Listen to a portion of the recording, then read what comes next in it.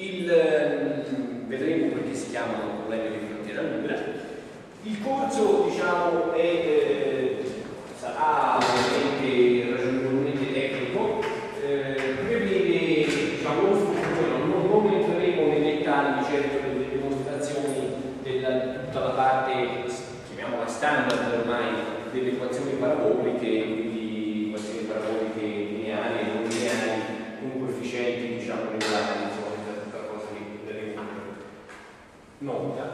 Quello che ci interesserà, tanto per cominciare, sarà il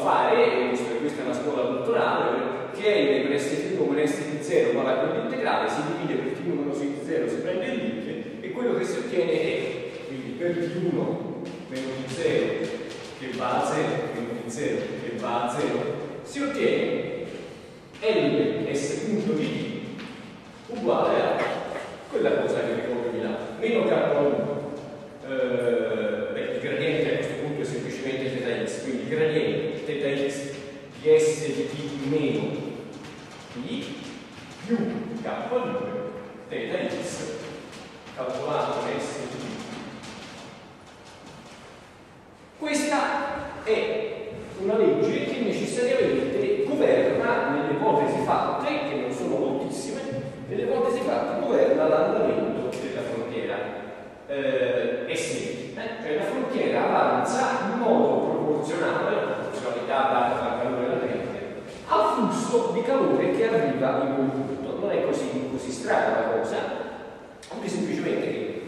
Il calore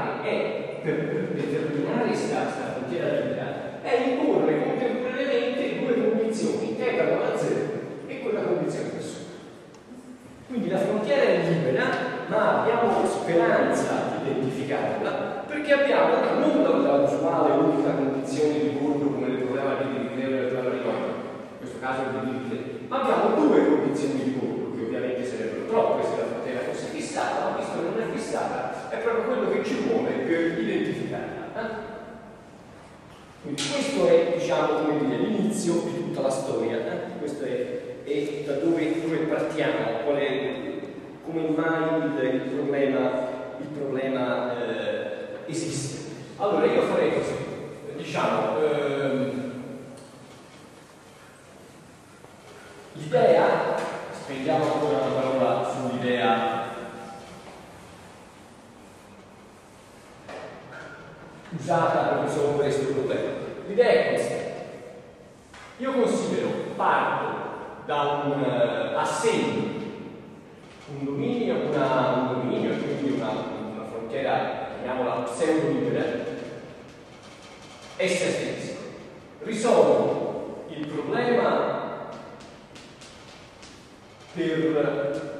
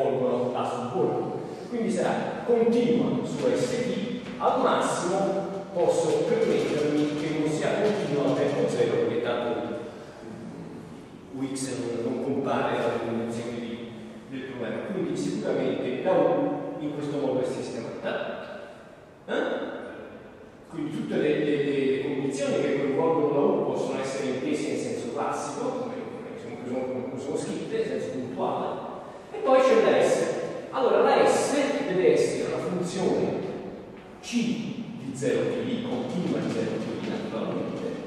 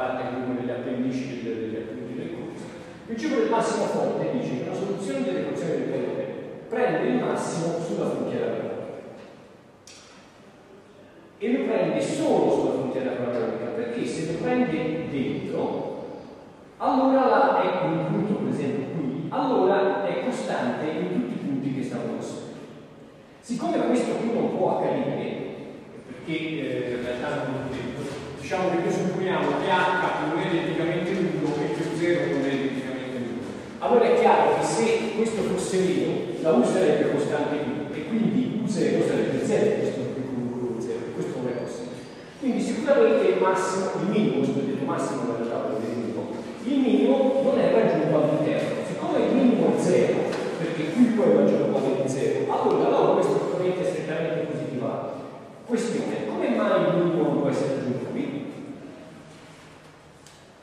Lemma di Hoff. Lemma di Hoff dice che se qui fosse raggiunto il minimo, la derivata dovrebbe essere strettamente positiva. Lemma di Hoff è uno di quei risultati della famiglia del principio di massimo. Hoff dice che una soluzione dell'equazione del calore, se raggiunge il minimo qui, allora è ovvio, soluzione dell'equazione del calore o no, se parte da qui e c'è un minimo, non può che partire a crescere. Però questo potrebbe anche implicare che non sia zero. Esistono delle funzioni, basta pensare a una parabola, che hanno un minimo e nella, in minimo la derivata è zero. Perfino se è un minimo su una frontiera. Il lemma di dice che questo non è possibile per l'equazione del calore, cioè per l'equazione del calore, la soluzione dell'equazione del calore, se partono un minimo dalla frontiera, se un minimo sulla frontiera, la OX in quel punto, la derivata, deve essere strettamente positiva. Bisogna partire subito e salire, non si può partire piano. Questo garantisce il Hoff. Quindi, qui un minimo c'è perché la UX non è strettamente positiva, è minore uguale di 0, e quindi essendoci un minimo, il minimo è raggiunto qui o perciò il minimo è 0, perché il 0 è 1 maggiore o uguale di 0, e B. La U è strettamente positiva. Quindi diciamo che la eh, A segue il principio di Max forte, forte, più lemma di Hoff, detto anche il principio del punto di frontiera, come volete. Invece la B, pure, la B segue in realtà direttamente la lemma di Hoff.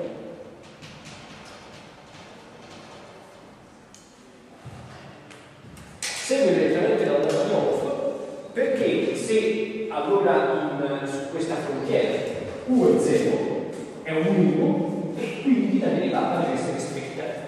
Potrebbe in teoria arrivare a un minimo anche piatta, ma non può perché è una soluzione dell'equazione del E dunque U è strettamente negativa, deve essere strettamente negativa. Da questi due, da questo primo lemma, segue come corollario che se US risolve un 5, cioè è una soluzione completa, risolve un 5, allora evidentemente S punto è positivo. S punto è davvero positivo perché S punto uguale a meno x e x è negativo, quindi S positivo. Questo, questo, questi primi risultati, volevo subito dire questi risultati a priori, diciamo che si a priori, perché garantiscono che questo problema fa davvero quello che è segnato qua. Cioè io parto con una temperatura positiva, continuo a buttare dentro calore, quindi continuo a riscaldare e cosa fa l'acqua? Ovviamente scende il ghiaccio, non è che succede in viceversa. Quindi la frontiera che separa acqua e ghiaccio avanza nel ghiaccio. Quindi questo, da questo punto di vista il modello è realistico, cioè, almeno questo lo fa. Si vede che l'acqua scioglie il ghiaccio. Va bene. Ehm, diciamo concludiamo sta prima ora di lezione facendo due esempi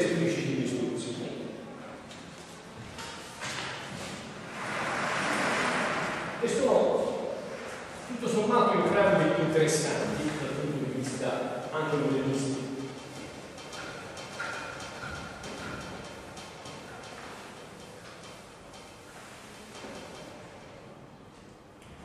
Il primo è un esempio che si basa sulla cosiddetta error function, non so se avete in pratica di questa interessante funzione.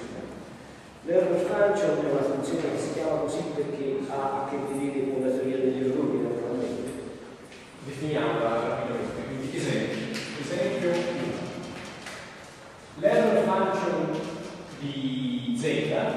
è 2 su radice di greco per l'integrale tra l'ultimo sempre se da 0 all'infinito, no, tra 0 e 7, quindi y alla meno a 7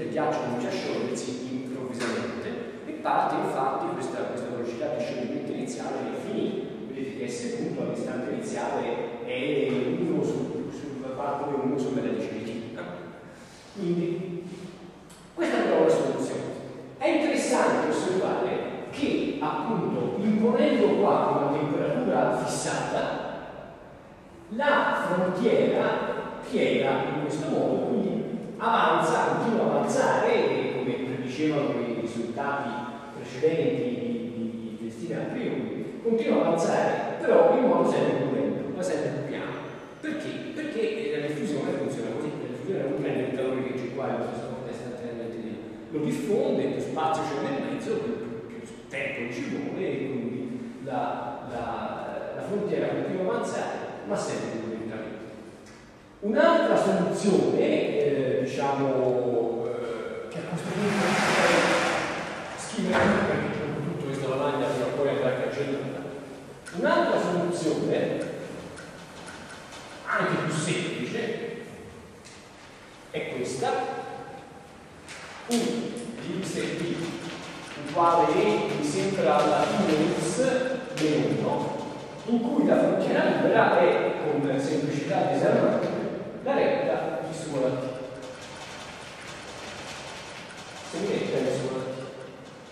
Si vede abbastanza facilmente qui effettivamente il t uguale a 1x. Qua, uh, per esempio, è, che ne so, e alla t meno 1, oppure se preferite potete fare la derivata. E effettivamente qui vale che 1 è 0 e che 1x è meno S punto. Sì.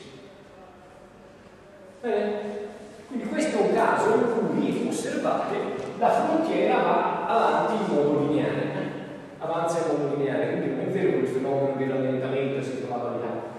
Eh, non è vero, però come la paghiamo questa cosa? Ci dobbiamo mettere qua una pompa di che aumenta la temperatura addirittura con un ritmo esponenziale. Quindi per riuscire a mandare dritta alla frontiera dobbiamo addirittura aumentare la temperatura esponenzialmente. Quindi effettivamente questo fa capire che il, il, per dati limitati la, frontiera è fatta così. In effetti si può dimostrare un risultato, si potrebbe dimostrare un risultato di, diciamo, di convessità della frontiera, cioè che in effetti continua a disegnarla così, in questo caso vabbè la parabola, ma anche prima l'ho sempre disegnata così, perché l'andamento che ci si aspetta è davvero fatto così, non che sia convessa senso rigoroso che ha questa parola, ma insomma l'andamento diciamo asintotico e questa, questo rallentamento mostra questo, questo effetto di rallentamento che è questo. Va bene, eh, dunque, mm, l'ultima cosa che volevo rimarcare prima di fare prima è questa osservazione. Il problema è fortemente, la sistema è fortemente non lineare.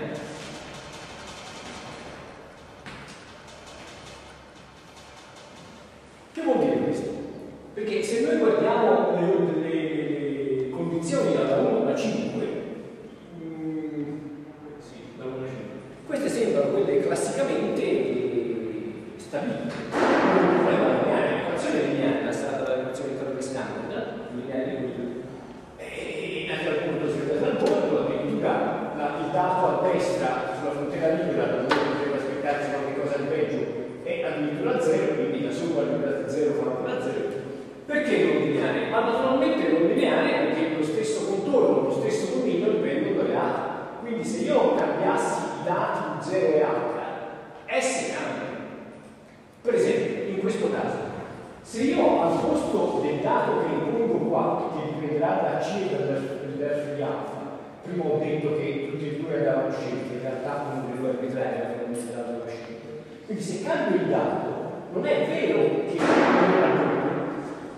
vedrò il doppio, non è vero che la nuova frontiera libera è, che ne so, il doppio di quella di prima diciamo, la, la, eh, la non linearità sta nel meccanismo che permette di, passare dai dati alla frontiera libera. La, il modo in cui la frontiera libera scelta dai dati è non lineare e quindi naturalmente il, il, il problema è non lineare. E perciò diciamo eh, questo va tenuto presente, non si può pensare che la somma di soluzioni sia soluzione, a parte in quale dominio, visto che i domini saranno diversi se le soluzioni sono diverse. Un'altra osservazione che volevo fare, che potrebbe anche essere un esercizio comunque, che succede se U è negativo?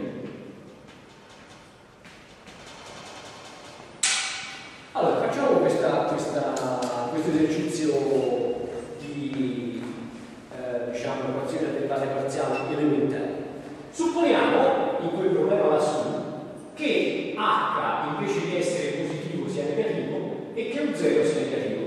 Si vede che, fermo restando che dalla 1 alla 4 valgono, che la U allora è negativa, esattamente come prima.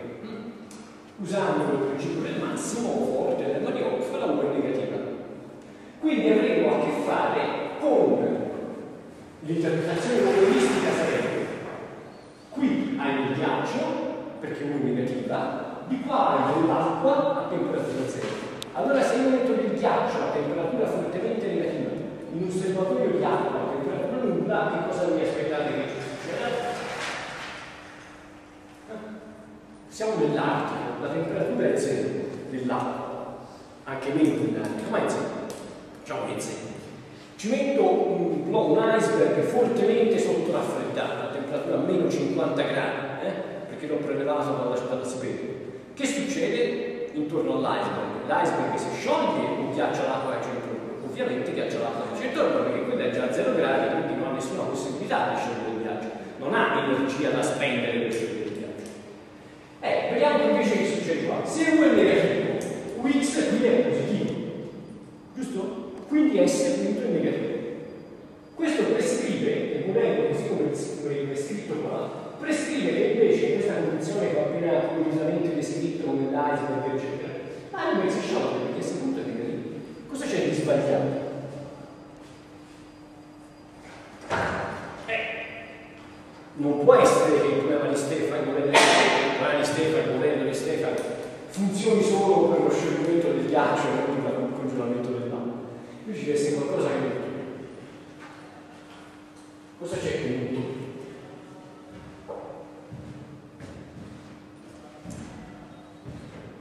In realtà quello che non torna, eh, diciamo, quello che, che, che è nascosto nell'argomento che abbiamo fatto noi, è che appunto il nostro ragionamento fin dall'inizio, fin dalle prime cose che ho scritto, presuppone che noi sappiamo che l'acqua liquida è in una fase è a sinistra e l'altra a destra. Se io avessi messo il ghiaccio a destra e l'acqua a sinistra, avrei avuto la stessa condizione che ho trovato prima, quella con i due teta, teta x, ds più 2, teta x, s no, con un segno cambiato. Invece di ls punto uguale ho trovato meno ls punto uguale. Perché?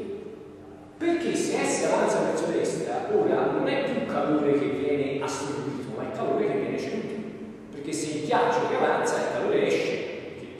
Quindi, quindi diciamo, il, la, la, formulazione classica del programma di Stefano, quella che abbiamo discusso prima, deve, deve sapere a priori che parte sta l'acqua e da che parte sta il ghiaccio. Eh? Quale delle due fasi occupa quale delle due zone, a destra o a sinistra della frontiera libera. Altrimenti si raggiunge una, una si raggiunge una, diciamo, un livello sbagliato, sbagliato. Ora uno potrebbe porsi una domanda anche più raffinata, potrebbe dire va bene, allora torniamo al nostro caso, noi supponiamo che qui c'è l'acqua. Tuttavia si sa, non so se voi lo sapete, ma è così, che il cambiamento di fase in generale avviene non alla temperatura nulla, perfino tra il ghiaccio, eh, perfino in caso semplice, ma prevede un certo sottoraffreddamento, cioè l'acqua prima va sotto i 0 gradi e poi Ehm, questo, il modello di questo, di questo sottoraffreddamento, in teoria, il, modello eh, di, di, di, di, Stefan può tenere conto, perché potrebbe anche essere negativo. Nessuno mi impedisce di supporre che va un segno da qualche parte sia negativo. Ora questo è un discorso molto complicato, diciamo. Eh, si può discutere se il modello di Stefano in questo caso resta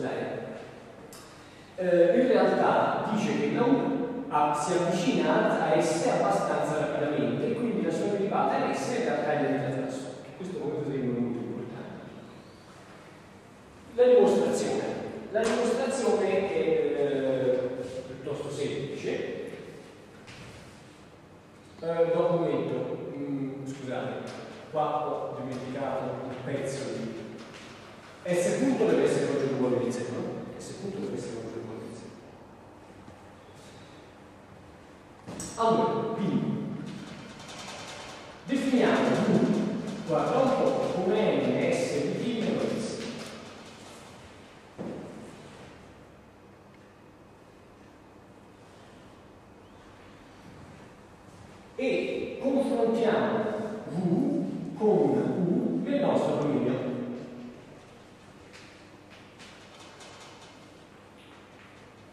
Per brevità di segno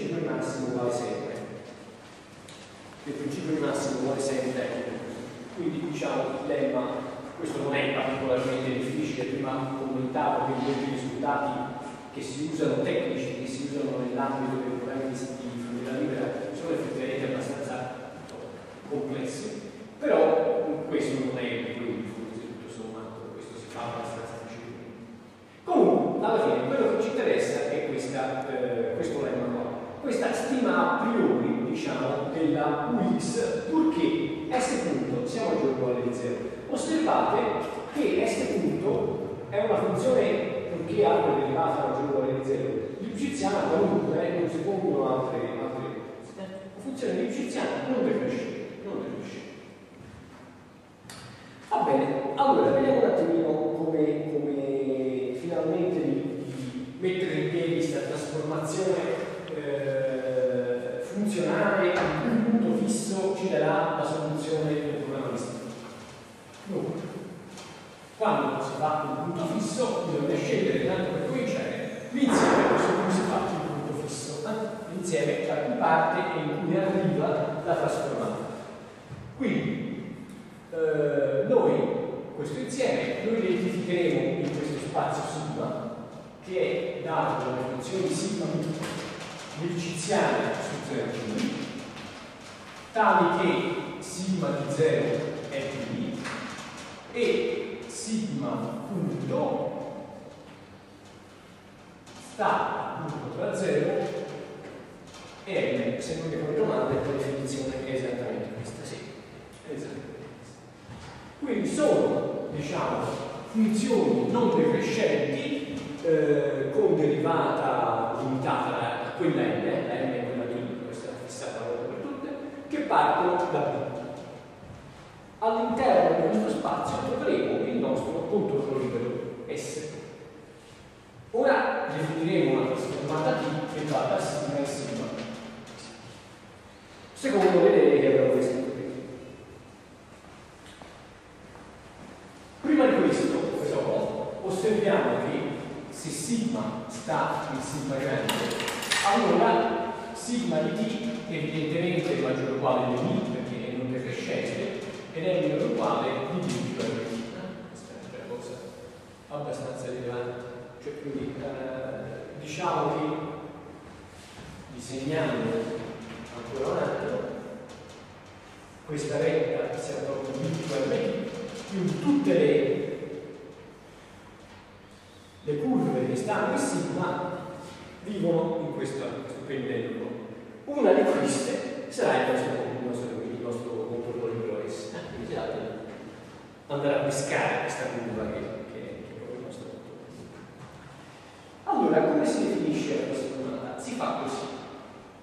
Descriviamo la parola. Fissiamo sigma, o fissiamo S, visto che ho usato S, fissiamo S in sigma. Risolviamo 1 quarto.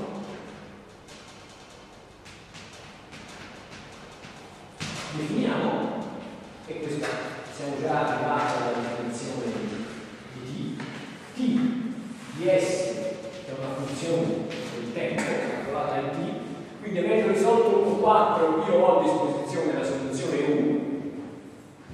TS di T sarà B meno l'integrale tra 0 e T di quella 1, la 1 naturalmente risoluzione di 1 4, x S di tau e tau in D. Per T tra 0 e T. Questa è la definizione della trasformata T corsiva. Vediamo. Resta da stabilire che effettivamente T corsivo va davvero da sigma e sigma. Prima di tutto, quell'integrale si può fare, questa si può calcolare con l'integrale? Sì, in modo assolutamente classico, perché un x, per quel lemma detto proprio all'inizio, ricordate le regolarità, purché il dato al contorno, scusate, il dato al contorno al contrario, il contorno stesso sia leuciziano, il, la ux è continua contorno. Quindi io gli sto integrando una funzione continua. Quindi ux di s di è una funzione tau tau è una funzione continua. Quindi quell'integrale si può calcolare e questa t di s è una funzione continua, in quanto integrale è una funzione continua, anzi addirittura è una funzione c1 eh? di più. Allora, vediamo un po'. Evidentemente ts di 0 per definizione B, quanto vale ts punto, cioè la derivata rispetto a t, scusate, di ts,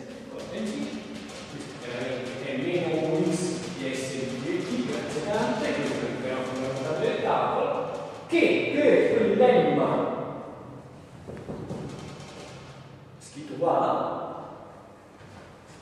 è maggiore o uguale di 0, quindi non parte, perché un x è negativo, anzi è maggiore stretto, d'accordo, maggiore o uguale di 0, ed è minore di m.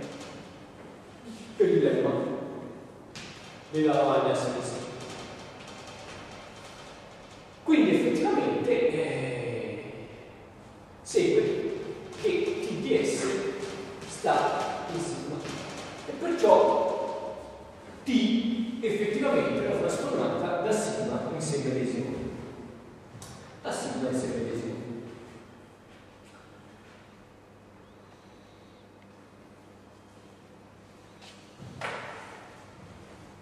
Ora va dimostrato che questa trasformata ha un punto fisso.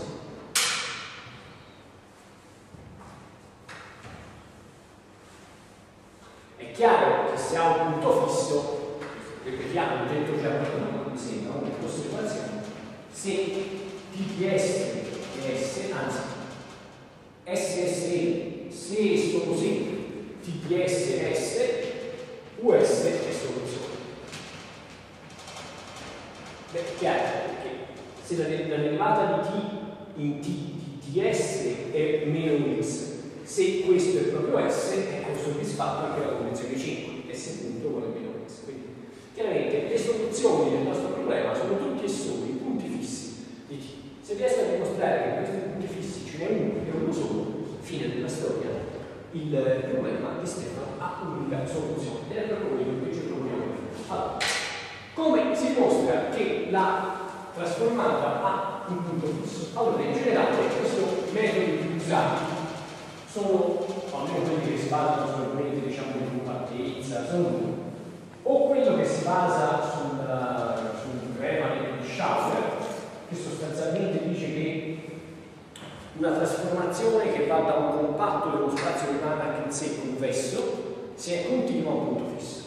Oppure, ancora più semplice, il teorema delle contrazioni. Il teorema delle contrazioni, se una trasformazione contrattiva dallo spazio un punto fisso.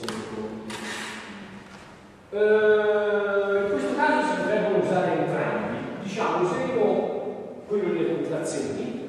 Facciamo prova, vi dico anche come si potrebbe usare quello di Schauer.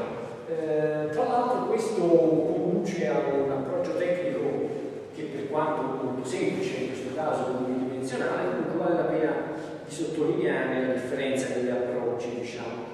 Allora, ehm, prima di tutto bisogna trasformare bisogna trasformare la, la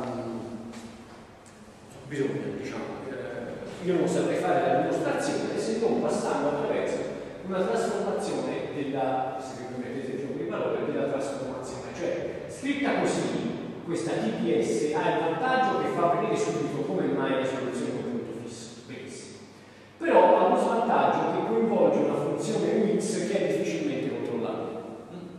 Eh, se ci pensate bene, noi dobbiamo dimostrare in un modo o nell'altro una qualche continuità di T in S. Ma questo significa dimostrare la qualche continuità di X in S. Giusto? Questo non è chiarissimo come si possa fare. Già dimostrare la continuità di U in S non è chiarissimo in questo momento come si possa fare, però sempre meglio quello sarà piuttosto che dimostrare le derivate della regolarità della sola derivata. Di solito, passando alle derivate, come si sa, le cose si complicano, cioè la regolarità diminuisce, la, le derivate sono più singolari delle, delle, delle, funzioni primitive e quando si conosce qualcosa sulla derivata, che si riesce a sapere qualcosa sulla funzione primitiva integrale, altrimenti. Beh, insomma, per farla bene. Eh, facciamo la prima delle numerose integrazioni per parti che ci accompagneranno in questo corso. Fissiamo il tempo t e integriamo l'equazione t meno x uguale a 0 in questo dominio. Attenzione, quale contesto siamo? Ripeto abbiamo fissato un contorno di partenza x dove s di t, stiamo risolvendo 1, 4, quindi u è la soluzione di 1, 4, ora io integro per parti, eh? cioè scrivo 0 uguale all'integrale tra 0 e t, integrale tra 0 e s di tau, di eh, u tau meno 1 di x in dx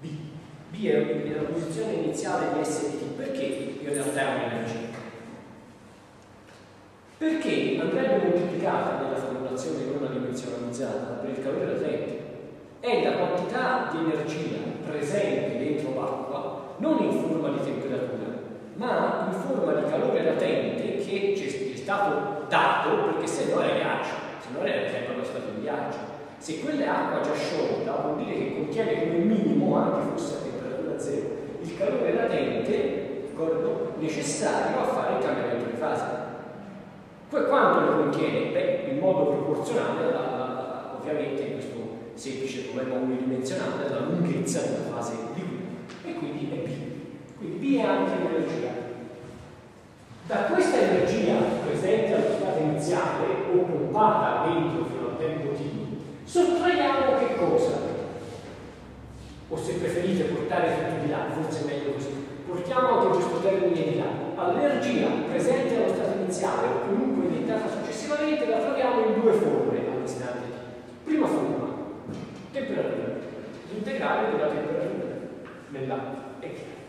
Seconda forma, da non dimenticare, come questa vita, semplicemente calore latente. Il contorno è avanzato, quindi c'è più energia sotto forma di calore latente di quanta ce ne fosse all'istante iniziale. B all'istante iniziale, S di T all'istante T. Quindi vedete, in un certo senso, il termine in viola, che è la forma di energia corrispondente al calore latente, e il termine qua, che è quella di ricevuta dalla temperatura, competono per accaparrarsi l'energia che, viene, che è disponibile. Quindi questa energia in parte riscalderà l'acqua e in parte scioglierà il ghiaccio. Questo è come funziona il problema di Stefano. L'acqua un po' si deve riscaldare perché se smette di riscaldarsi non arriva più calore sul ghiaccio e il ghiaccio non si scioglie. D'altra parte l'acqua non può riscaldarsi tanto quanto si riscalderebbe se non ci fosse da fare il cambiamento di fase, perché appunto una parte del calore se ne va nel, nel, in calore latente per sciogliere il ghiaccio.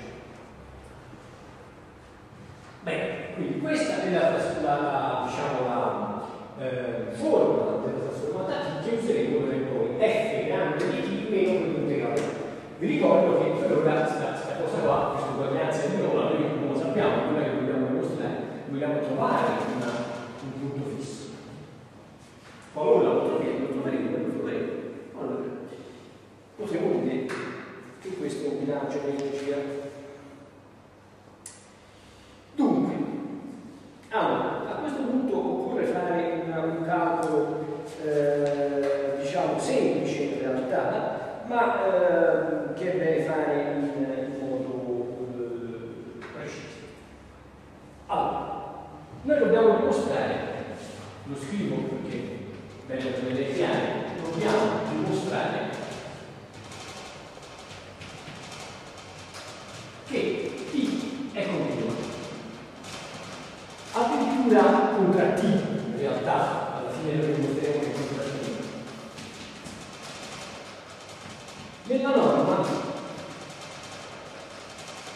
C0, cioè eh, sostanzialmente che la norma di TPS1 meno TPS2 la indico semplicemente con un T, ora dico cos'è questa cosa, è meno uguale di un uh, T, norma di S1 meno S1 di T, con D minore di 1, se la norma D in realtà è la norma dello spazio C0 di Z.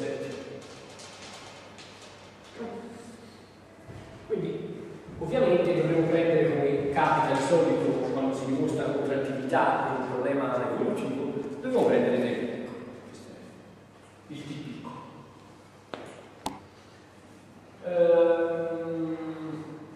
Questo è quello che dobbiamo fare. D va trovato, non sappiamo quanto è, lo troveremo.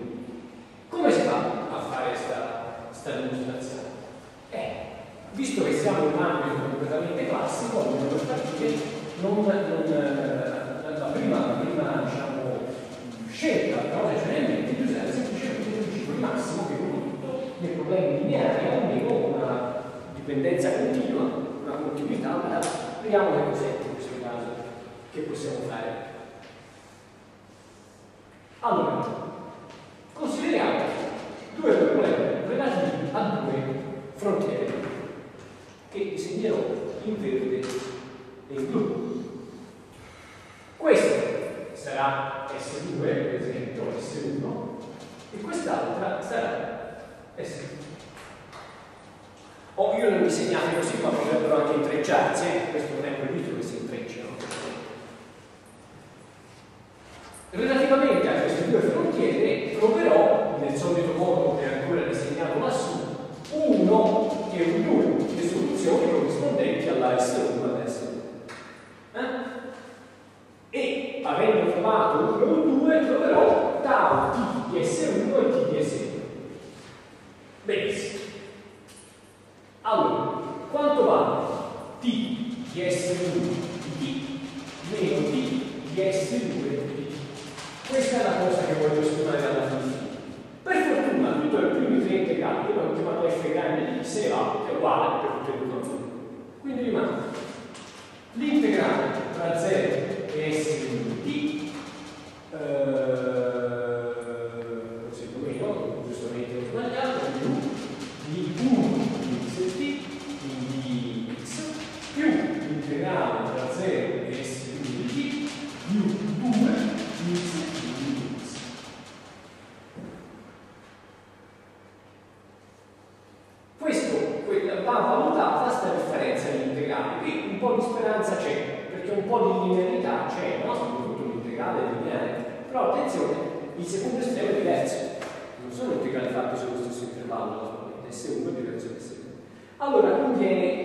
una, per essere precisi, una ehm, vediamo le cose come stanno. Qui ci mettiamo alfa di t, lo chiamiamo il minimo tra S1 di t e S1 di t, beta di t lo chiamiamo il massimo tra S1 di t e S1 di t, e i lo mettiamo uguale a 1 se beta di è uguale a S1 di t, se non sbaglio, e a 2 altrimenti. Cioè se beta di è S2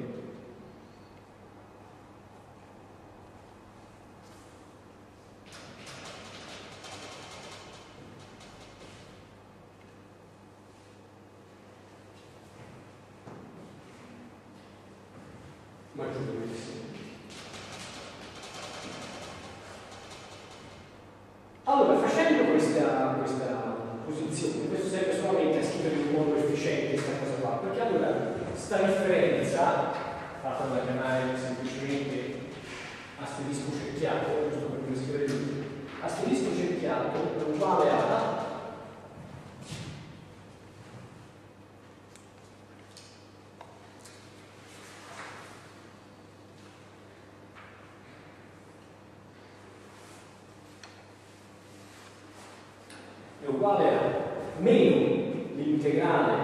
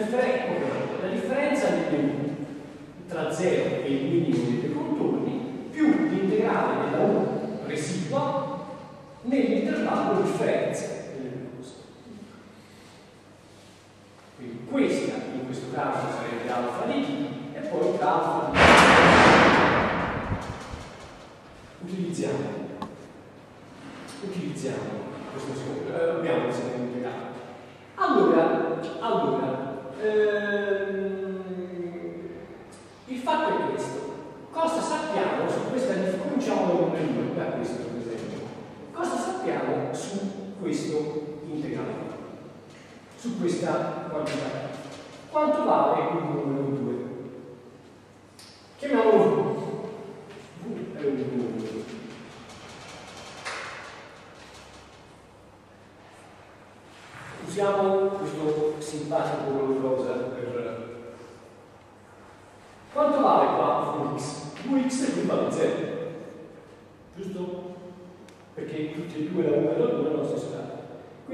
assumere però nel massimo un minimo. Giusto? All'istante iniziale il vale 0, perché sia 1 che 2 hanno lo stesso dato, quindi no, massimo e minimo è 0. L'equazione ovviamente nel dominio comune e con il calore del dominio comune vi ricordo che arriva fino all'alfa, questa curva blu in questo caso. Quanto vale il la V? In valore assoluto riesco a dare una stima del V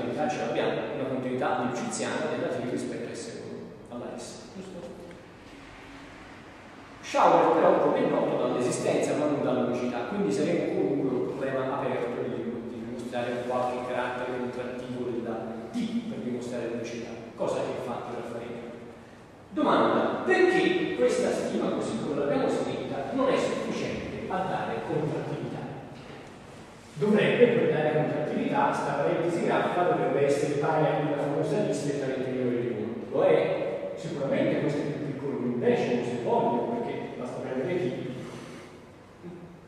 Bene, torna questo. Chiaro questo punto? In questi casi io posso, siccome questo è vero per tutti i t, lo posso scegliere io. Se lo prendo più piccolo di 1 su 10 e 4, questo è più piccolo di un decimo. Qua posso fare lo stesso gioco? No, perché per quanto posso prendere piccolo qua mi verrà il premio. E il premio è più piccolo di 1 oppure no? Con la scelta. Se è più piccolo di 1, bene, ho trovato la contrattività. Ma se invece è più grande di 1, eh, non ho trovato la contrattività. Quindi il, eh, diciamo, questo, questo, questo, questo approccio è intrinsecamente incapace, per quello che abbiamo almeno messo giù noi, di dare carattere contrattivo alla Cioè non è possibile che otteniamo carattere contrattivo. Chi è l'incriminato? Chi è che ci, veramente ci rompe le scale? Chi è che non ci, dà, che non ci permette di, di ottenere una di più piccola di uno? Naturalmente questo è un pezzo che non abbiamo detto, che è il pezzo che viene. Allora dobbiamo porci il seguente problema. È possibile che questo pezzo qua veramente e intrinsecamente si comporti come S1 come S2 per una costante fissa o non ci stiamo noi perdendo qualche cosa? Cioè è possibile che il nostro approccio sia troppo rozzo e non, non catturi qualche comportamento della soluzione che effettivamente invece c'è. Vediamo, ricapitoliamo. Il nostro approccio alla fine si è basato sul principio di massimo. Tutto, non abbiamo usato altro del principio di massimo. Come abbiamo stimato 1 meno 2, quella che chiamavamo? Eh, perché abbiamo detto su questo mondo V è meno uguale di M per S1 per S2, quindi, siccome il principio di massimo vale, dappertutto qui dentro è meno uguale del max di quella che ho chiamato M norma S1 per S2. Ma questa stima è ragionevole? È il meglio che si può fare oppure no? Non è chiaro. Non è chiaro per niente. Non è chiaro per niente. Perché la, eh, effettivamente osservate che no, qui è 0. Usiamo addirittura il colore giallo. La 1 qui tende a 0. E uno dice d'accordo, ma anche S1 e S2 qui tende a 0. Sì, è vero, però mettiamoci. Chi è che rende qui V diverso da 0? Come mai guardiamo V veramente come soluzione, com'è, come soluzione di un problema di diffusione? Come mai V è diverso da 0? Perché di qua arriva roba, arriva l'effetto del dato di Dirichlet che si propaga eh, con velocità infinita, come ben noto comunque, eh, si propaga e alla fine rende V diversa da 0 in tutti questi punti. Però la velocità di propagazione infinita, proprio come il noto, non è che istantaneamente può spostare quantità finite di massa. Quindi il, il, quello che uno si può aspettare è che qui sì, V sia positiva, però non sia uguale a M per S1 per S2, sia molto più piccolo. Questo è quello che dà il carattere contrattivo. Cioè, noi con questo approccio, quello che abbiamo seguito finora, effettivamente ci stiamo un po' perdendo un effetto, eh, questo effetto, diciamo, diffusivo. Cioè, eh, è un approccio troppo. Il principio del massimo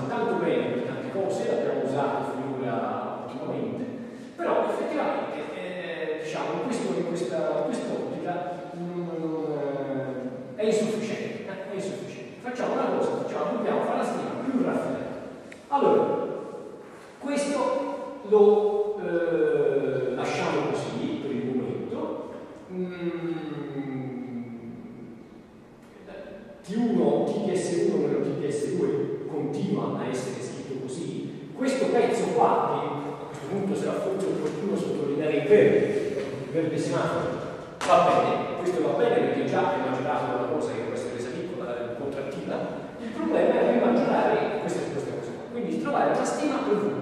Mm? Questo è il problema, trovare una stima migliore per voi. Vediamo come si fa.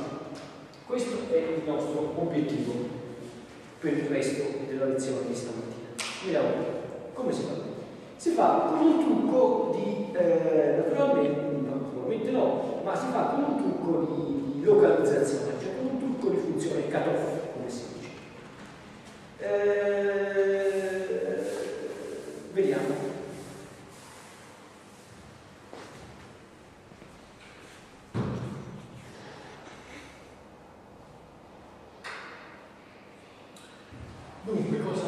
Giulia, devi facilitare.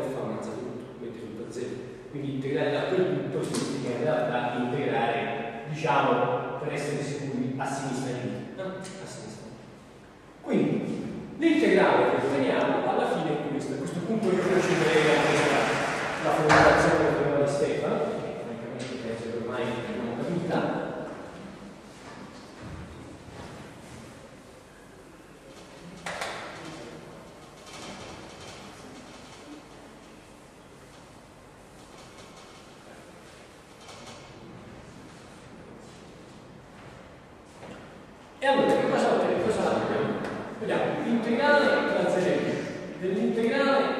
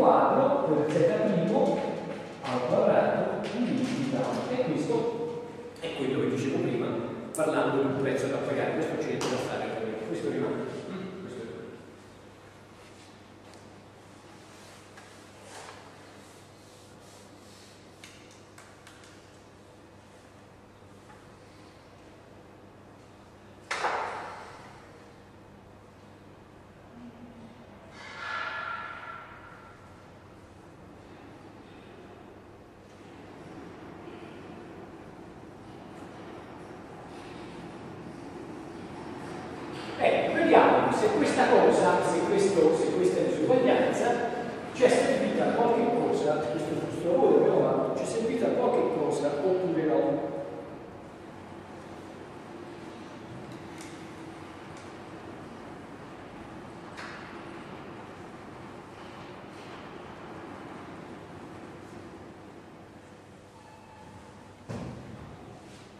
Vediamo un po', scusate.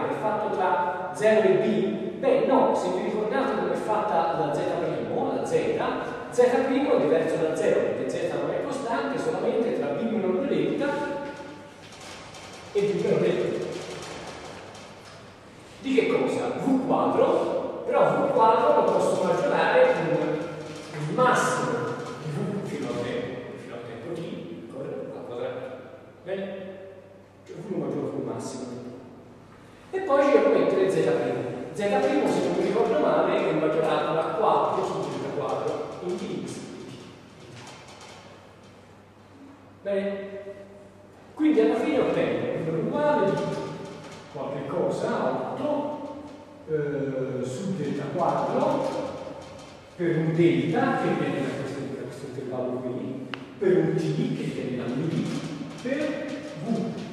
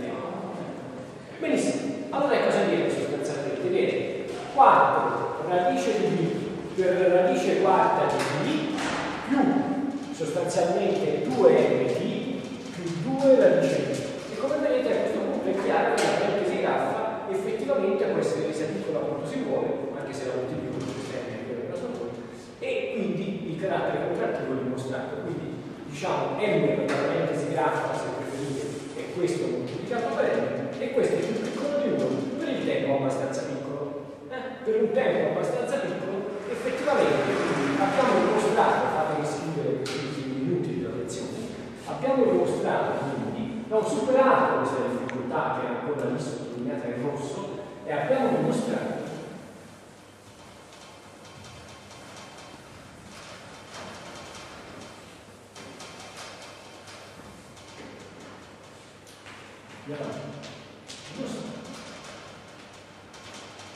Che I è una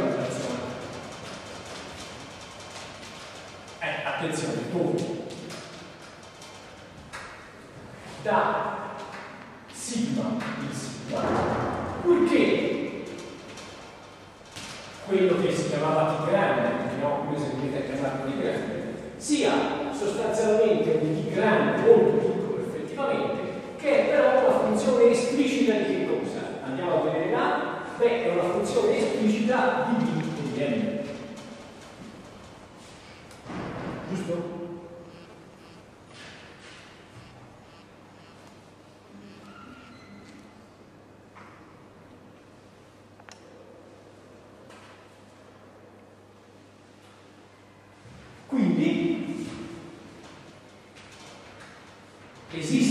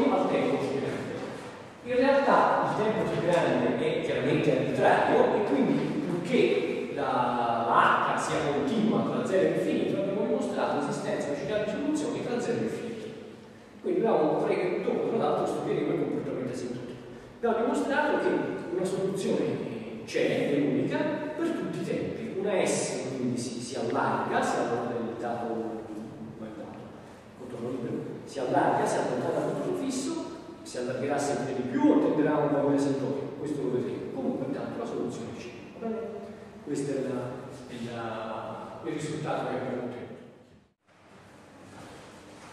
Eccoci. Dunque, allora, come ancora scritto là sulla line destra, abbiamo dimostrato l'esistenza di soluzioni per le eunicità, chiaramente,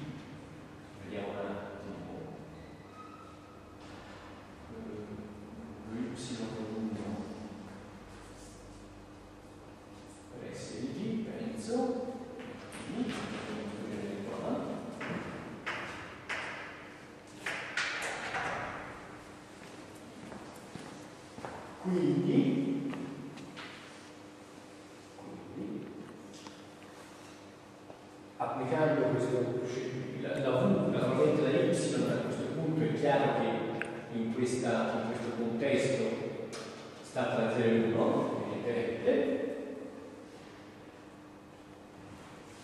E allora eh, se, se preferite questo significa che U di T si può in realtà scrivere come V di x su st ovvero questo che sì perché è sopra st quindi y è x su st perciò t è eh, v y per x su s t al quadrato per s punto anzi c'è un segno meno qui s punto di t più t e xx è eh, 1 su s di t al quadrato per quindi scrivo, scrivo solamente la, la diciamo, l'equazione per la che vado molto più avanti di così. L'idea, giusto per dare l'idea di come si dimostra questo, questo, questa regolarità extra della, della S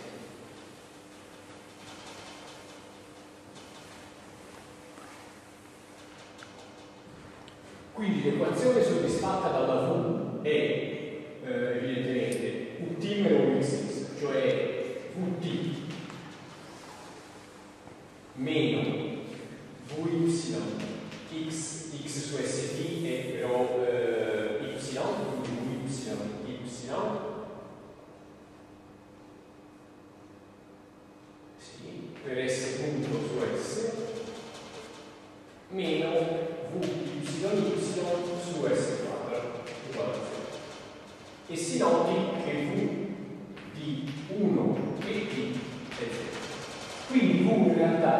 soddisfa questa equazione parabolica vedete sempre l'equazione parabolica t meno v y con un certo coefficiente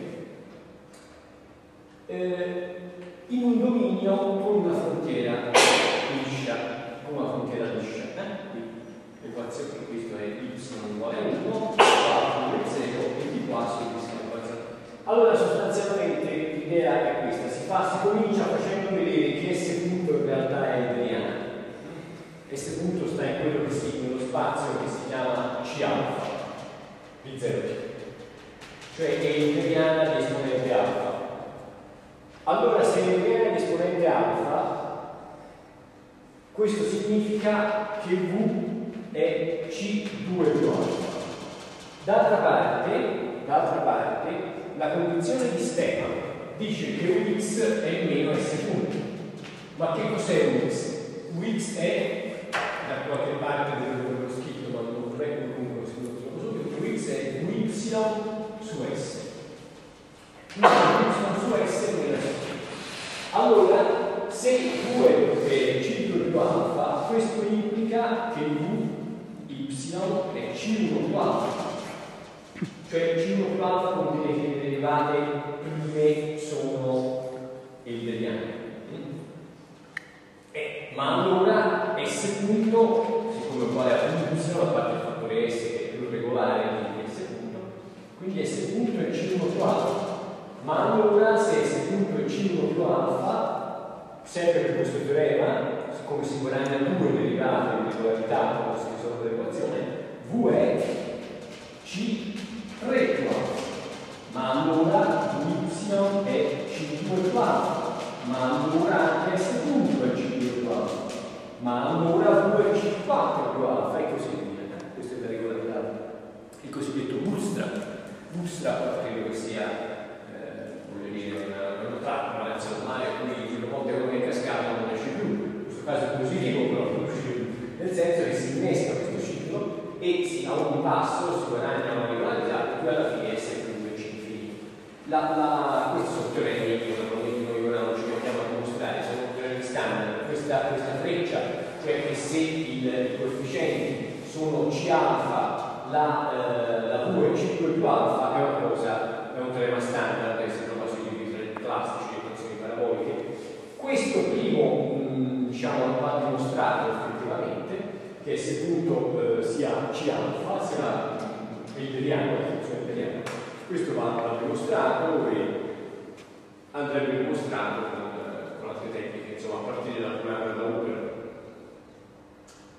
Va bene, allora il comunque diciamo di fatto la S è C infinito, quindi la regolarità della, della frontiera libera è eh, ovviamente indipendente soprattutto dalla regolarità che abbiamo quelli dati sulla frontiera fissa. Eh? Abbiamo supposto solo continui, ma anche fossero discontinui non cambierebbe niente.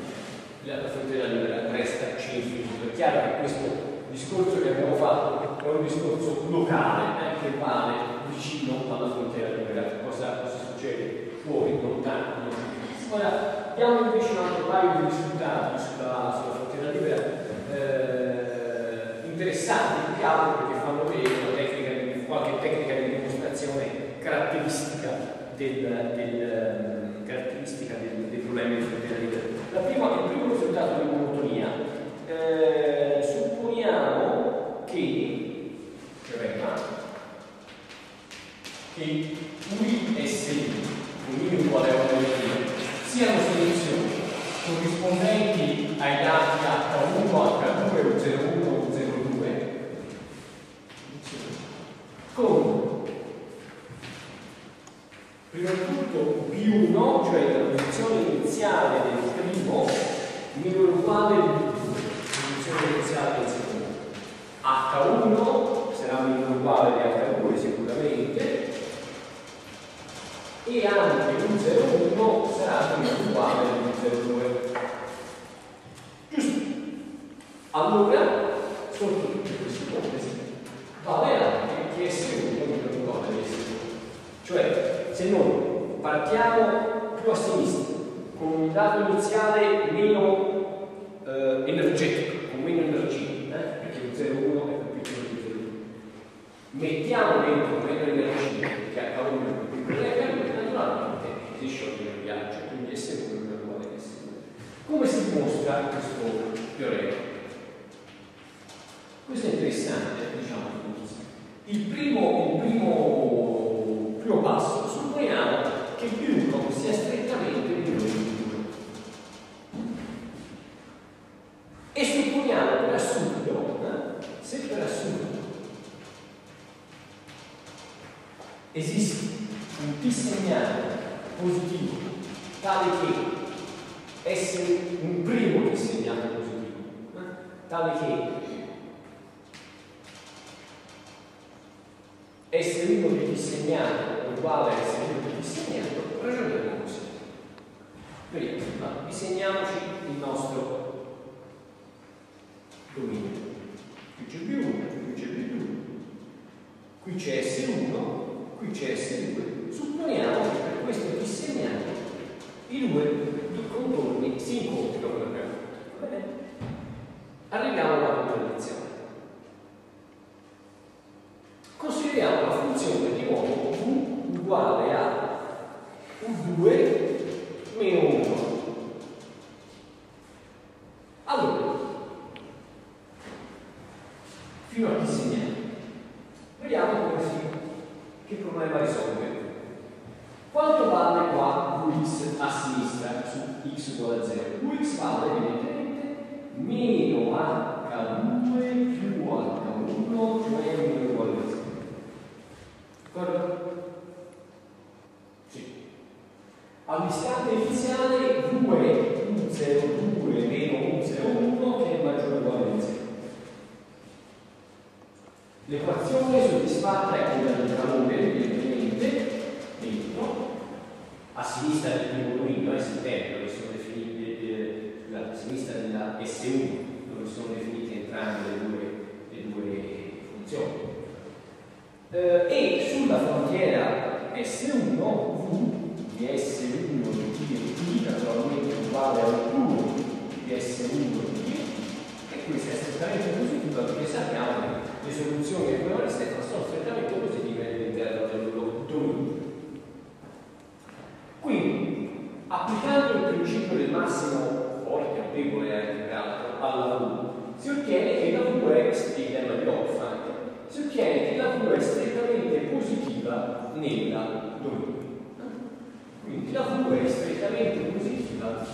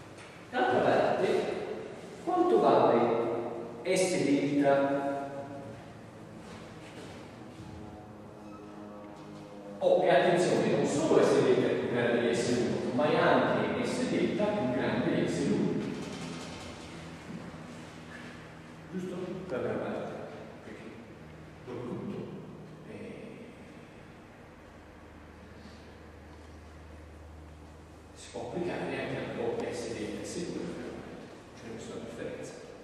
Giusto? I dati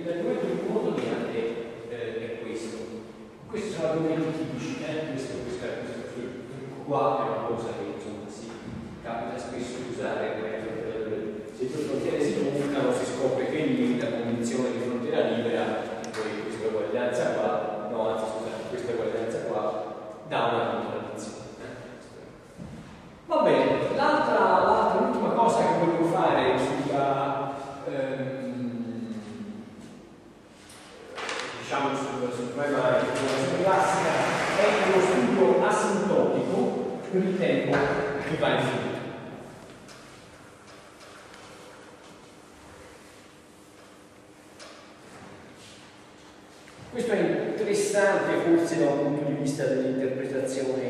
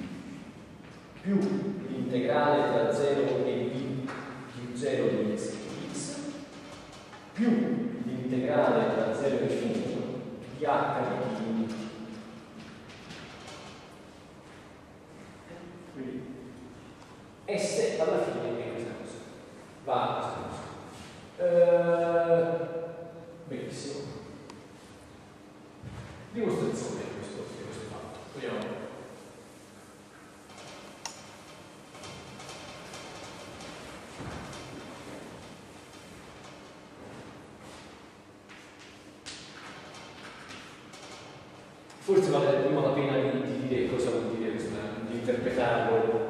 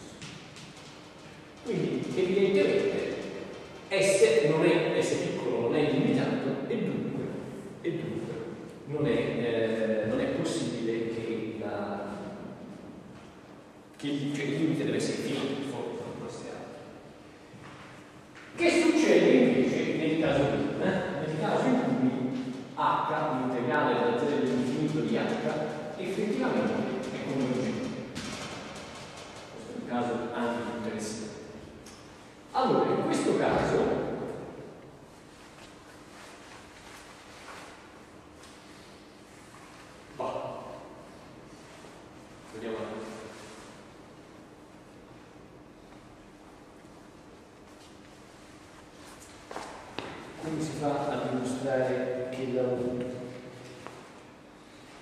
è limitato?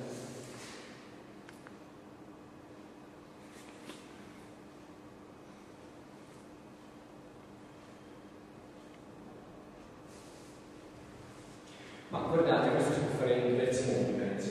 Allora, prima di tutto, se l'integrale è limitato da questa relazione, segue immediatamente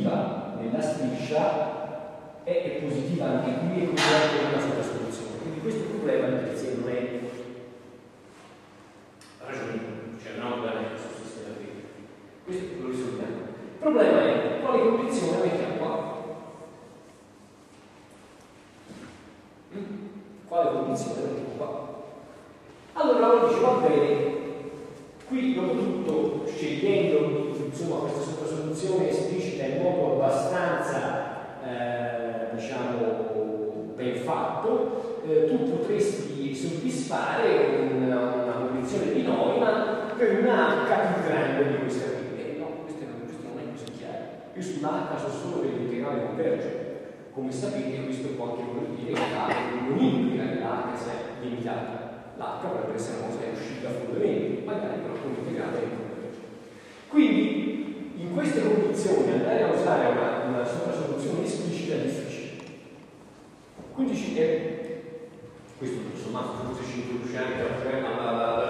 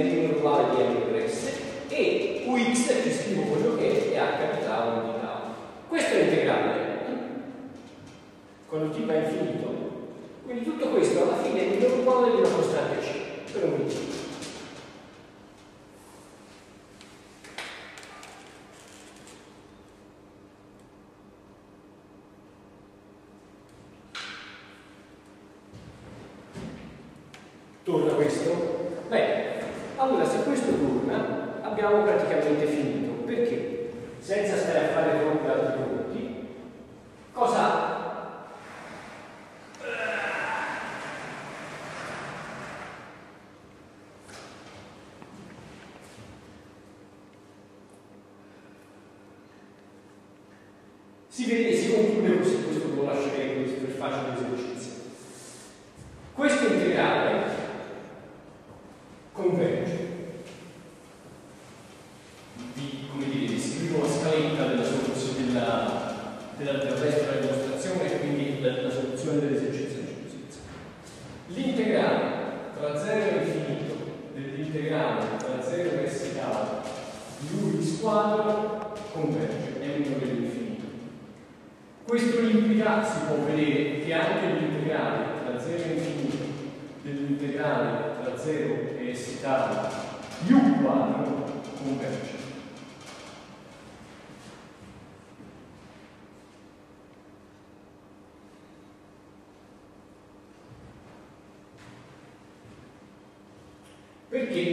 Perché semplicemente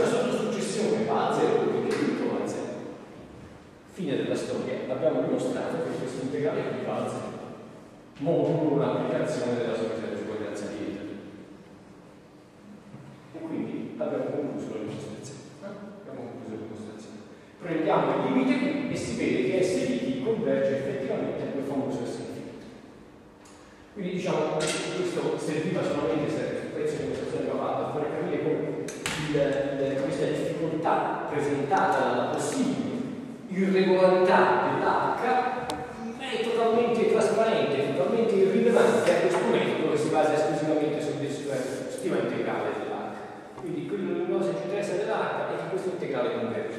Poi puntualmente può essere irregolare o non c'è problema. Questa è la bellezza di questo metodo. Va bene? tra l'altro io metterò sul sito mio.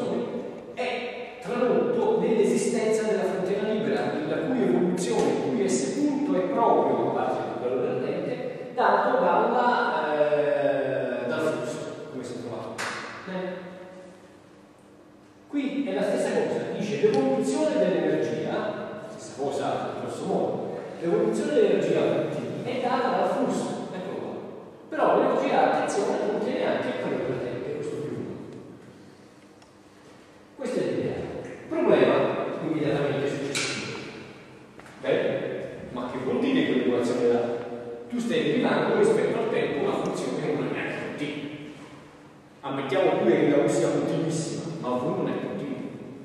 Quindi c'è qualcosa, addirittura nel problema di cui sappiamo già l'esistenza, quello che abbiamo visto prima, sappiamo per certo che V1 è continua attraverso la frontiera S. Abbiamo mostrato, c'è la frontiera S crescente sotto questa V definita così vale 0 tecnicamente perché è il ghiaccio a temperatura nulla, sopra immediatamente sopra vale 1 perché acqua a temperatura nulla lì sulla frontiera. Quindi abbiamo toccato con mano che la V non è continua. Come fai a definire quella derivata? E qui interviene la formulazione di equazione. E qui interviene la formulazione di equazione. Che ora andiamo a scrivere.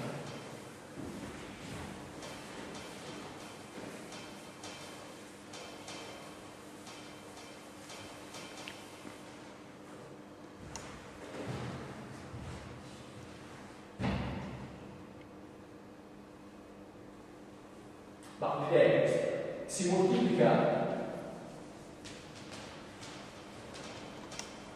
Facciamo, diamo una, una, una definizione come dire, provvisoria di, di, di formulazione debole di problema quindi, di Stefano di formulazione debole. Si moltiplica questa equazione ipotetica a cui dobbiamo dare un significato rigoroso, per una funzione che stia coniata in C0 infinito, forse C01 sarebbe sufficiente, diciamo C0 infinito, di Qt, dove Qt è non è poi il dominio spaziale omega per l'intervallo spazio-temporale eh,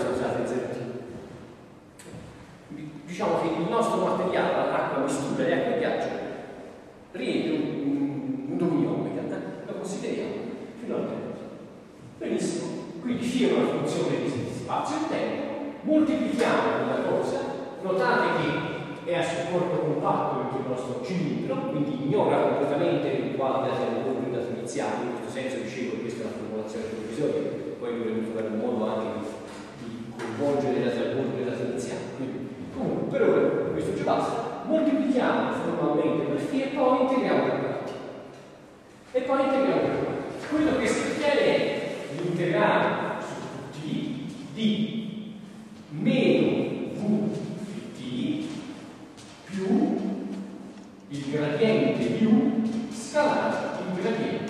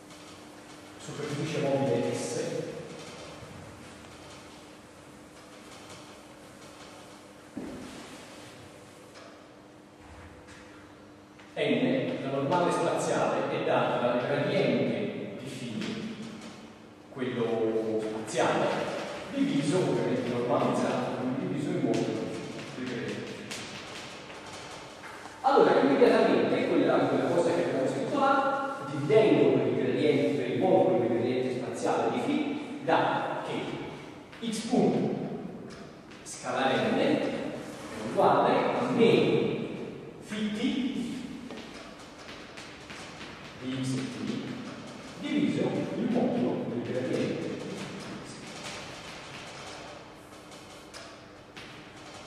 Osservate che questo prodotto scalare, che di per sé contiene la velocità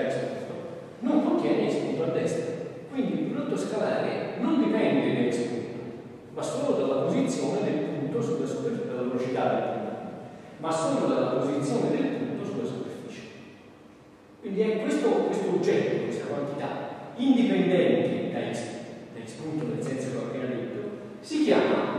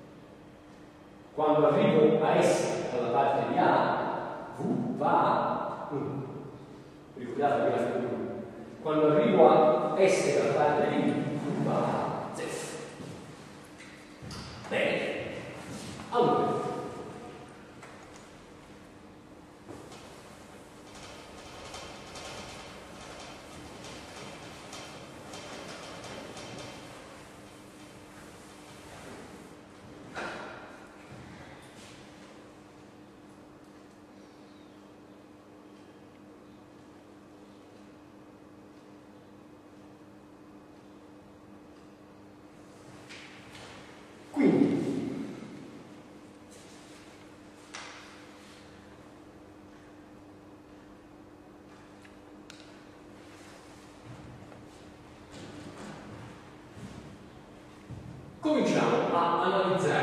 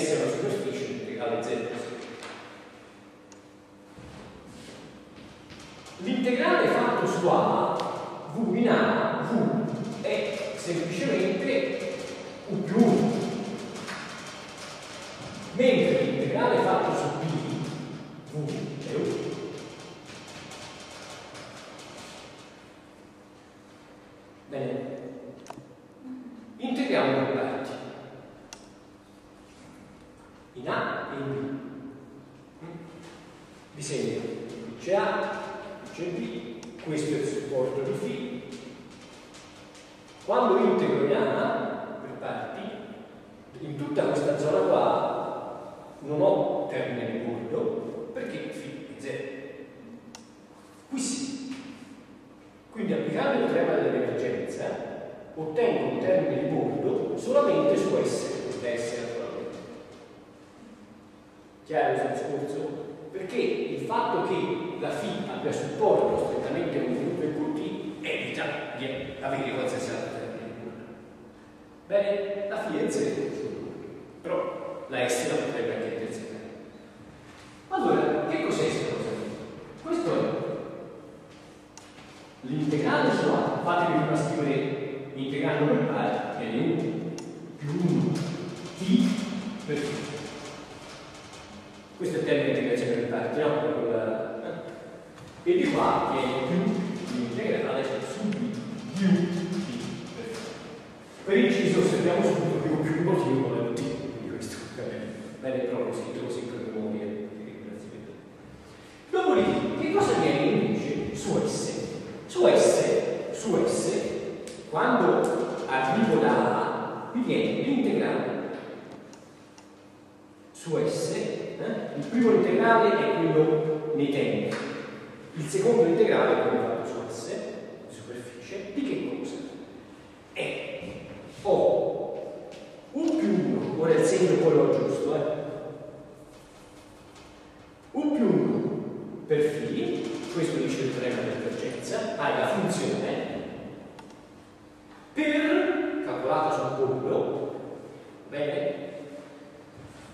La funzione quindi fatemi mettere una A qui sotto, e anche qua, la indica il limite della funzione fatto su S provenendo da d'accordo? Eh, per la nut la nut la componente della normale giusto? che è relativa alla variabile rispetto a cui si stava facendo la derivata, quindi in questo caso la variabile tempo. In questo caso la variabile tempo. A questo punto dobbiamo fare una scelta e definire se n è positiva o negativa. Ma esterna a B. Diciamo che U è esterna a B. essendo esterna a B, attenzione, essendo esterna a B, Faceva un po' di giochi di segni Cominciamo. Prima di tutto ci sarebbe un segno meno che perché qui c'è un segno meno, perché questo va bene.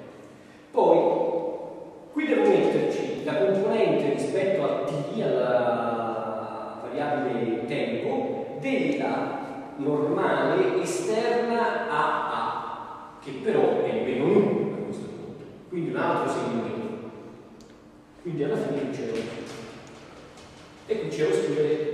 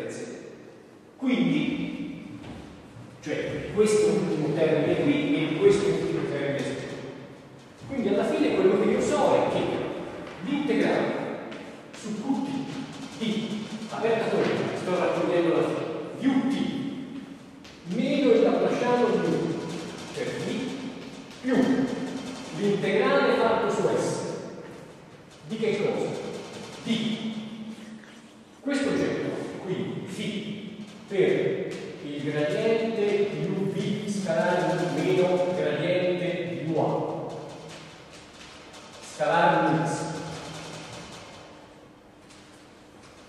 e poi devo ancora sommarci più phi di phi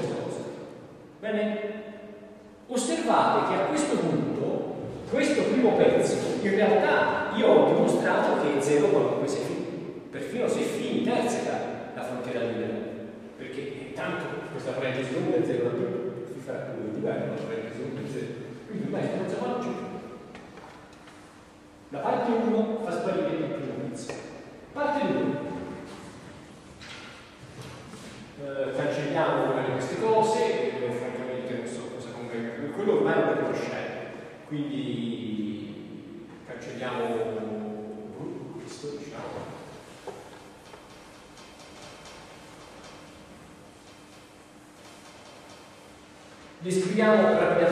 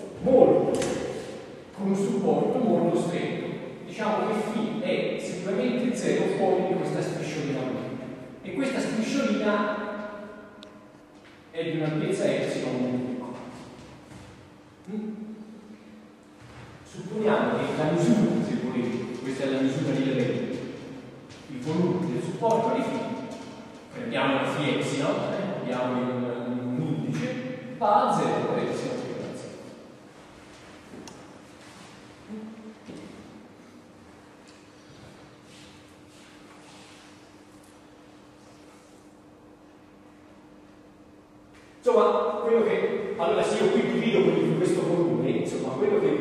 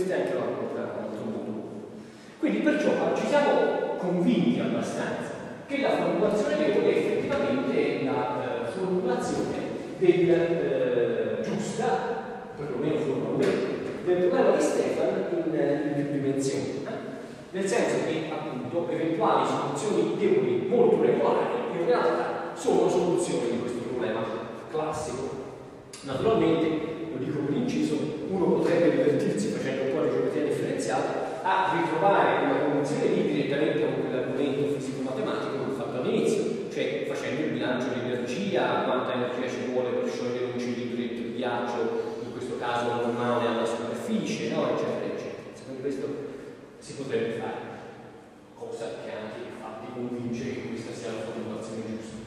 Comunque, diciamo così, d'ora in poi, per quanto riguarda noi, noi accetteremo la formulazione debole della restante un quarto che ci manca oggi accetteremo la formulazione debole del, del problema di Stefano, come l'abbiamo messa, e eh, da quella partiremo per cercare dimostrare esistenza di unicità di soluzioni. Eh, dunque, vediamo un po'. eh, va bene, allora Prima di tutto diamo una formulazione più precisa ormai a questo punto del problema di Stefan prima di proseguire per fissare le.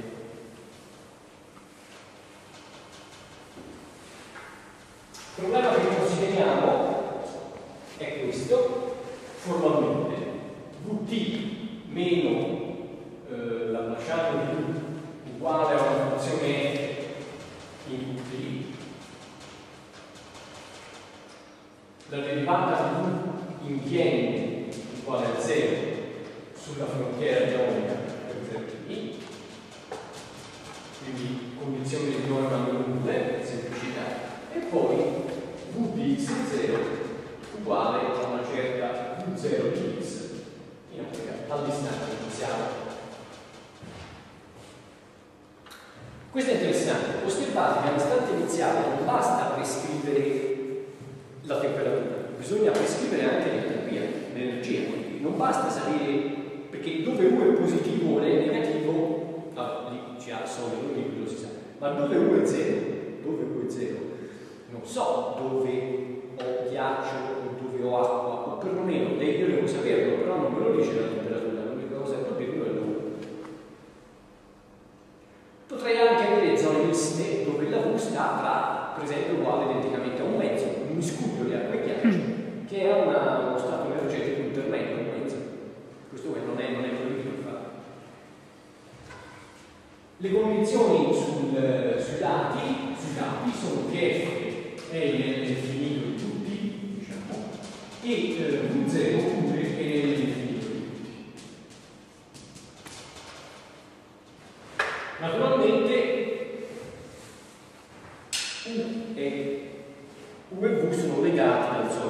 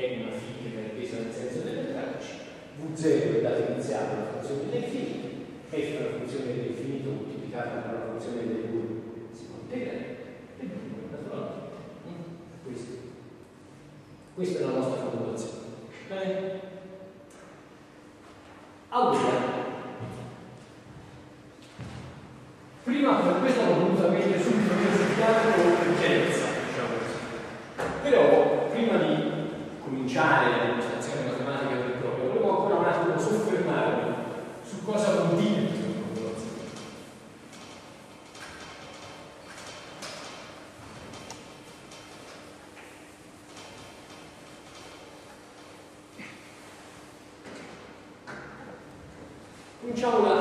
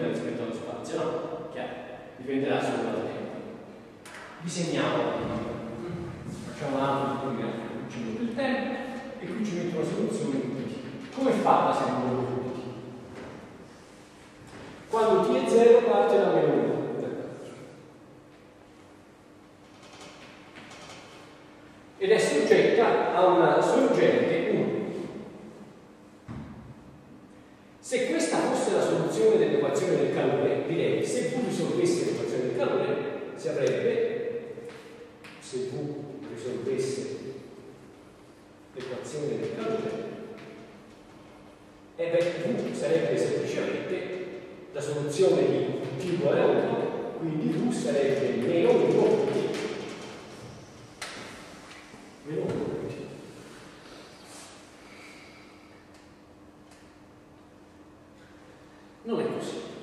Se voi provate a mettere la soluzione meno 1 più t, a forzare la soluzione meno 1 più t qui dentro, vedete che non nulla.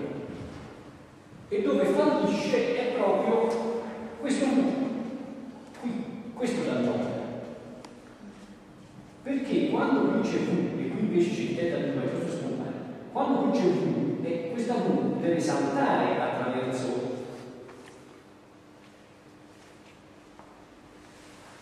i valori della temperatura.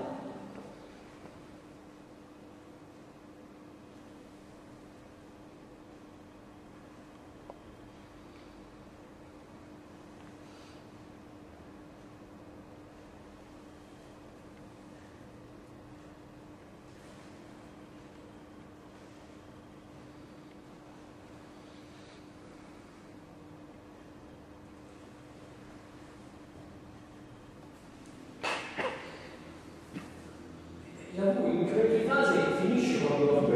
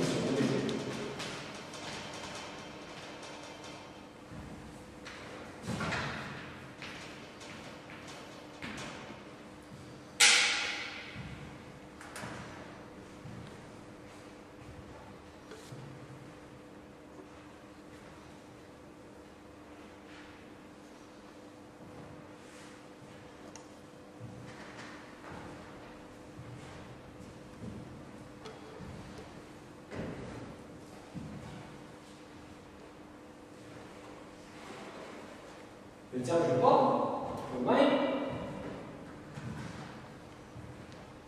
Cosa abbiamo detto prima? Ricordate quando ho fatto quel commento sul segno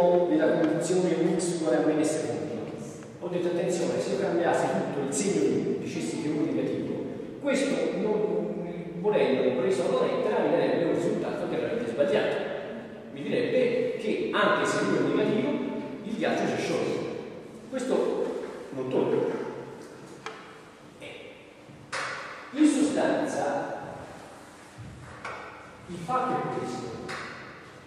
Se io traduco, questa è una cosa che va forse un po' provata, ciascuno per conto suo a farsi conto, cioè pensare Se io traduco la formulazione debole nella formulazione classica, come il trucco che visto prima, tutto quella 2, 3, 4, la bagnata il segno della condizione di Stefano viene sempre automaticamente quello giusto.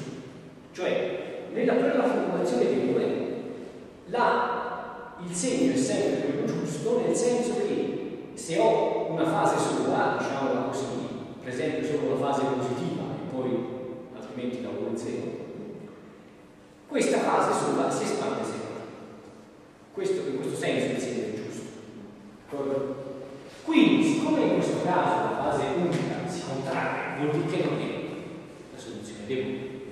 Bene? Perché più profondamente? Perché la soluzione debole è basata, la definizione della soluzione debole è basata su un argomento energetico che è quello appunto energetico corretto.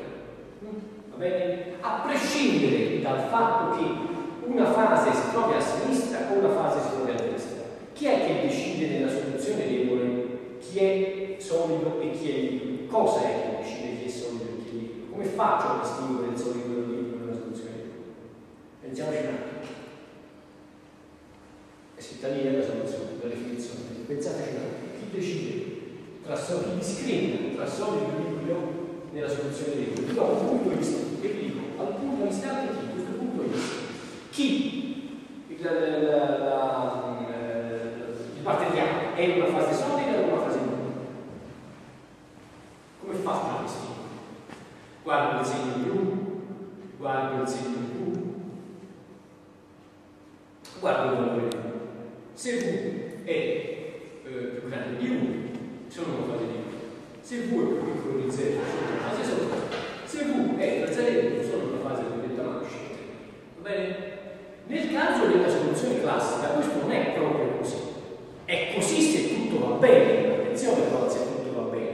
Cioè, se noi abbiamo scelto correttamente che a sinistra ci sta l'acqua e a destra ci sta il ghiaccio e abbiamo di conseguenza trovato la condizione di Stefano con quel, con quel, con quel segno lì, e beh, allora effettivamente se a sinistra il dato è positivo ci sta veramente l'acqua, il dato è positivo, la soluzione è positiva ci sta veramente l'acqua, d'accordo?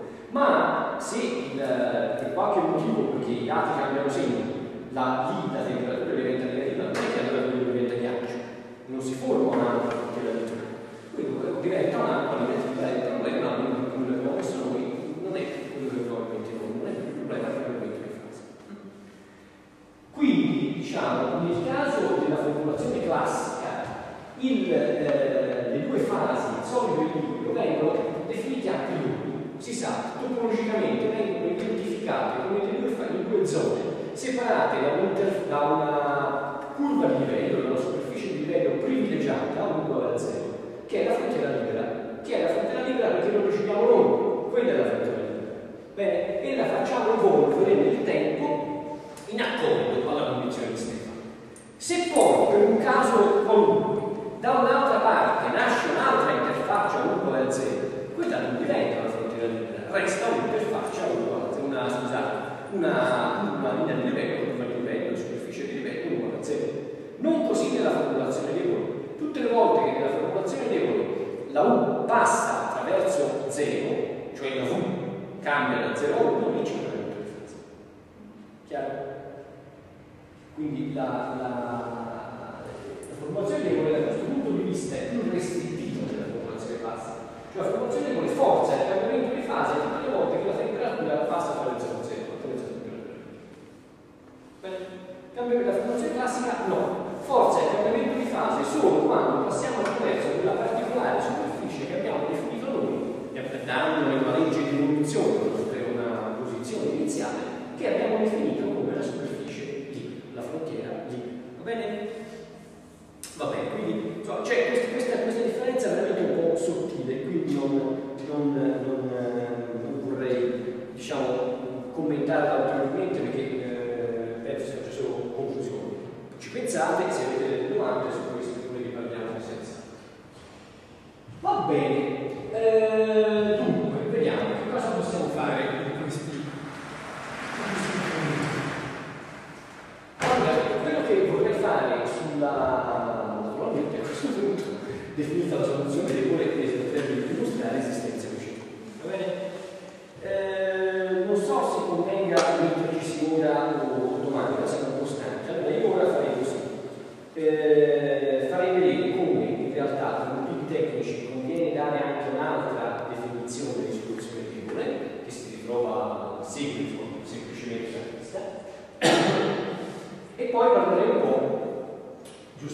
nello spazio di Sobeff perché mh, è vicino a chi conosceva, però Va bene, allora cominciamo a dare la definizione di un'altra definizione di soluzione di eh, Qui mi sono dimenticato di una cosa, colpevolmente. La phi deve essere anche tale che phi bit di 0 a livello di grande di 0. Scrivete, aggiungete questa cosa. Perché? Pensateci un attimo, come mai deve essere necessario che fissa zero autonomia?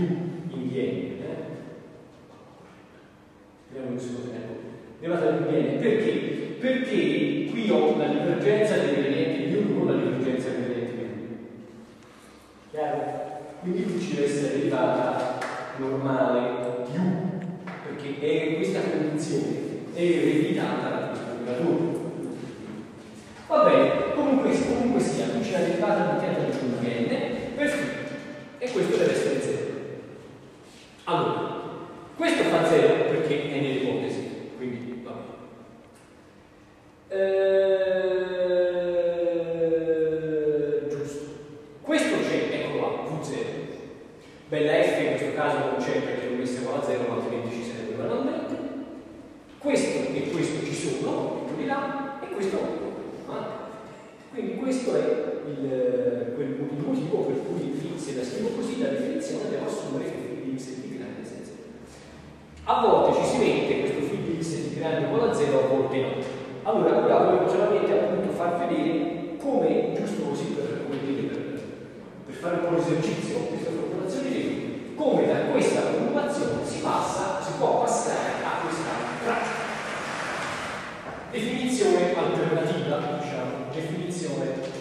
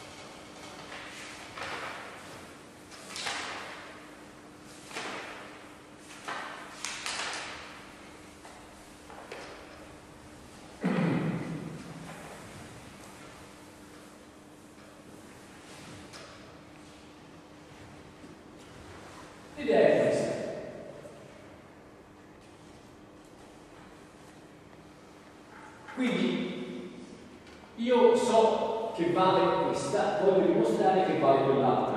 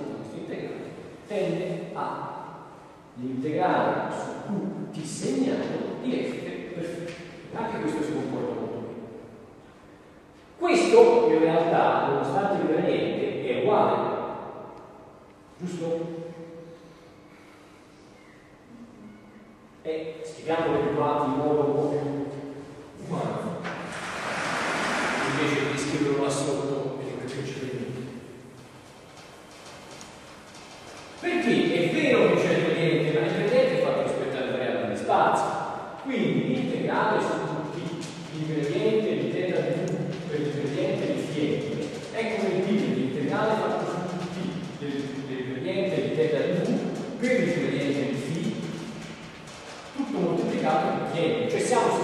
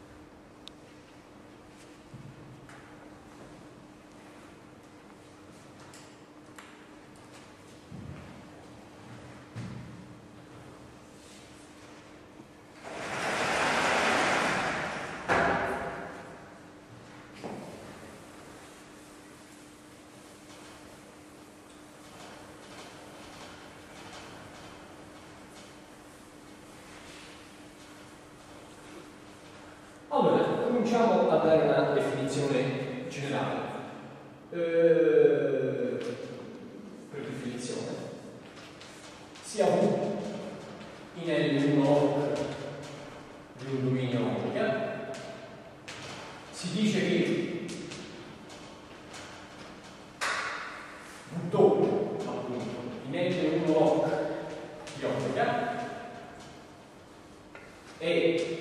la derivata è uguale, diciamo, è la derivata rispetto a, eh, come, come indicate, diciamo che la derivata rispetto a x, la derivata rispetto a x nel senso di sopra nel senso di sopra o nel senso di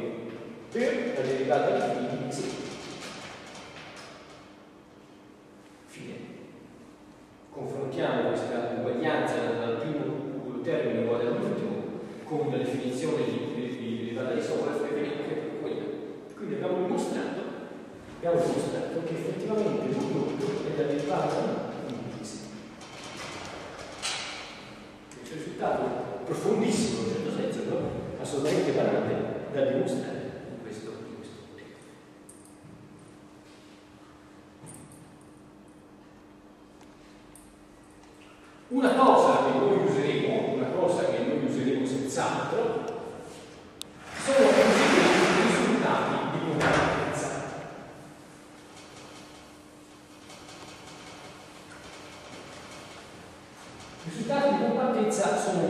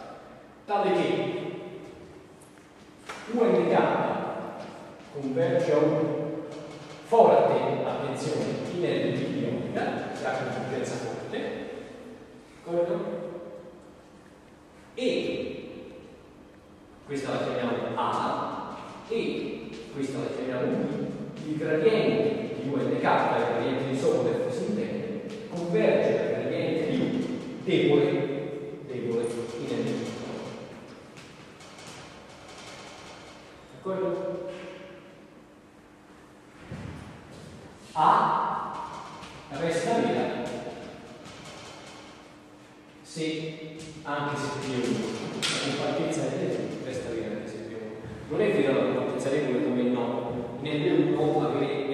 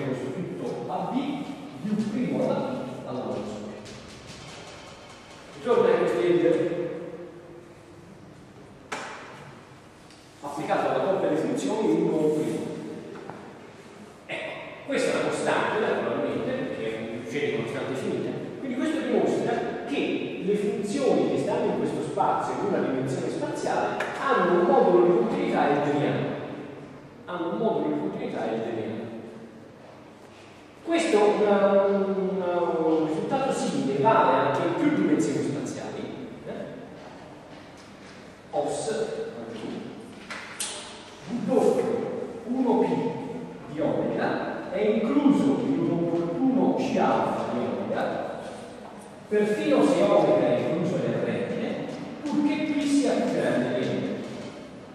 Quindi se l'esponente di sommabilità è veramente molto grande, più allora le funzioni sopra sono effettivamente continue in senso lineare. Questo non lo. In dimensioni dimensione 1 si vede subito.